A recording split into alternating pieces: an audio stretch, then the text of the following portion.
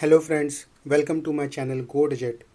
Today in this video, I would like to share three new features which Microsoft have recently introduced and uh, as you can see from my screen, these three tabs. So they will be adding this new uh, these new features from October 2025 itself. So this one which is like cancel build and publish from VS Code.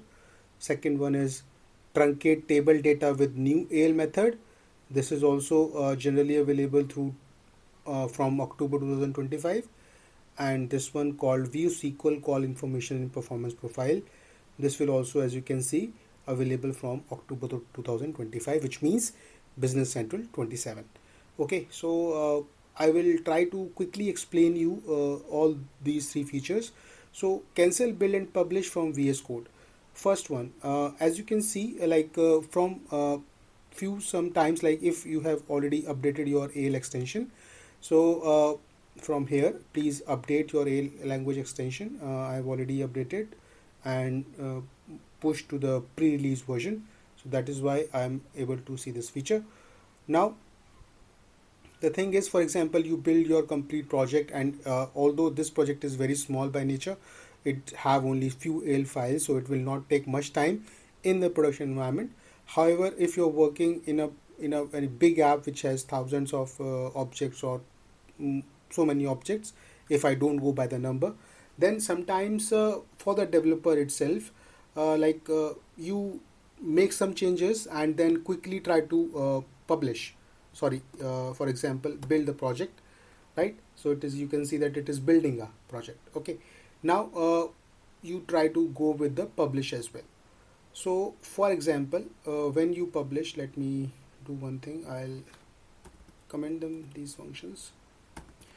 Okay so for example uh, you by mistake uh, comment these uh, this record this code or you uncomment this code and now uh, let's say you want to publish and when you click on publish you immediately realized that there is some problem happened. So you have this option called cancel. Right? Sometimes it happens that uh, you realize only when you clicked on publish button that you miss something uh, which you really wanted to and then you get stuck. Because until unless the project gets published you cannot make your change. Right? You feel helpless.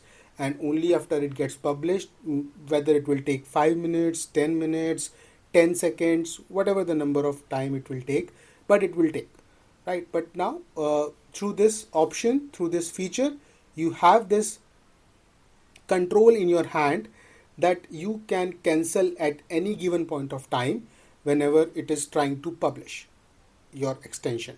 So in the middle of that you can cancel your uh, project and then make your changes whatever you want to right? For example i will uncomment this code. Now uh, I'm done and I can build this project I can publish this project. Right so this is the new this feature basically helps us uh, especially the developers part in the VS code. Right second feature is called truncate table uh, data with the new AL method.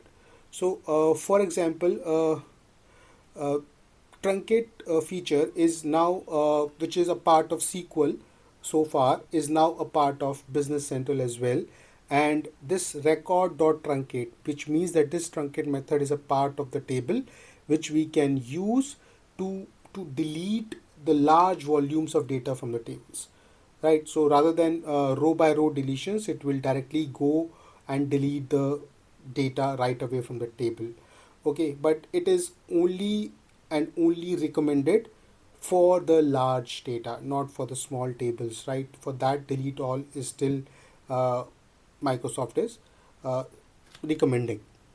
Few feature details as you can see from here that it basically provide the function that we can see that if it support truncation or not.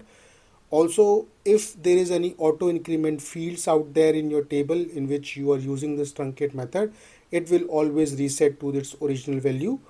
And uh, uh, some things which it is mentioning here that tables with the on delete trigger or event subscription will not uh, supportive right? It you will get the error.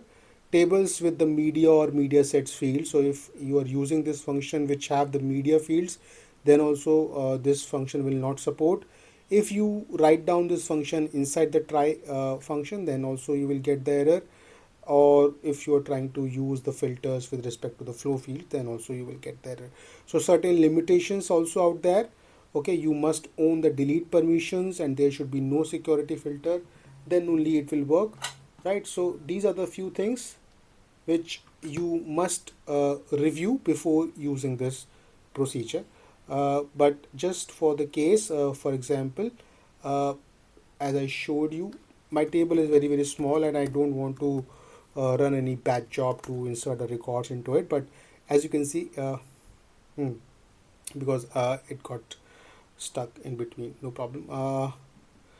Let me do one thing now.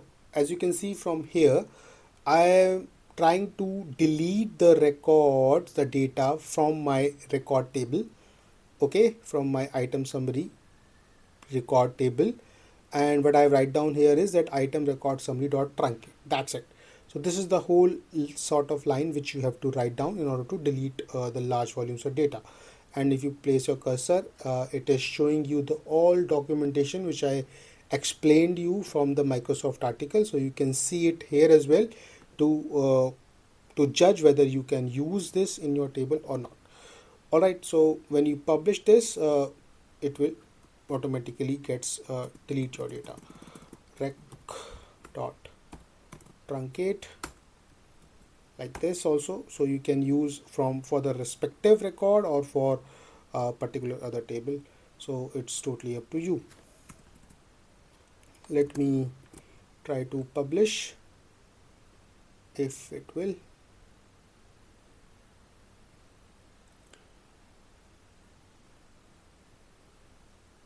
And while it will publish let me show you the third feature which is called view SQL call information performance profile.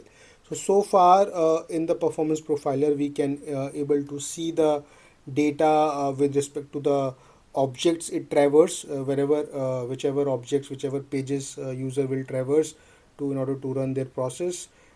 It will start recording everything bit by bit and it will show you that how many object it covers up which applications it went through and it gives you the all sort of information. But it so far was missing the SQL uh, information as well which generally the developers uh, for that uh, use the SQL profiler uh, to find out that which SQL query because ultimately uh, uh, whenever you whatever you do in the business central it goes at the backend in the database only. So SQL anyway running behind. So it gives you the information of all the queries uh, from the SQL end uh, that uh, whichever uh, operations user will be doing like for example fetching the data deleting the data any sort of thing.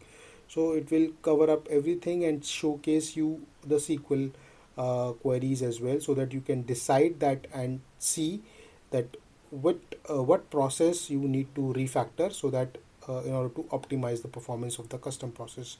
So for example me cancel this. Yeah so page is opened up. Now if I try to open the item summary you can see all the data is deleted although there were only three four records so that's not a problem. So as I showed you the rec.truncate can works uh, on the record table or from the variable part itself. Now uh, if I show you the performance profiler so for example let me click on start button go back click on new uh, let's say select any few records go back click on new thousand go back new and again this one go back go back. Okay performance profiler again stop and show technical information. And if you come up here call tree. So you can see this SQL operation right which is showing up along with the BC objects. So when you open this up you will get to see all the SQL queries which system is running behind uh, your process right? Insert query select query all sort of stuffs. Select top 50 right? Isolation level everything.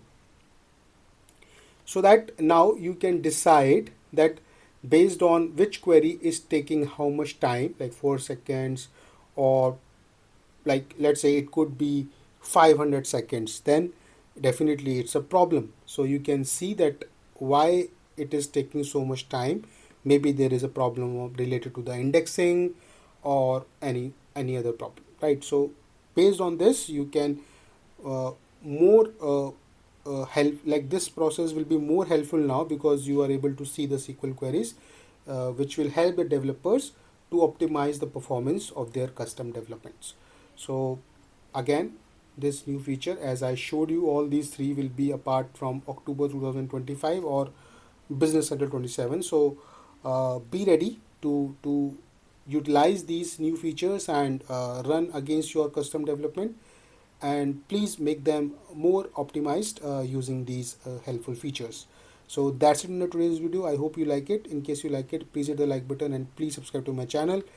Thank you so much for watching this video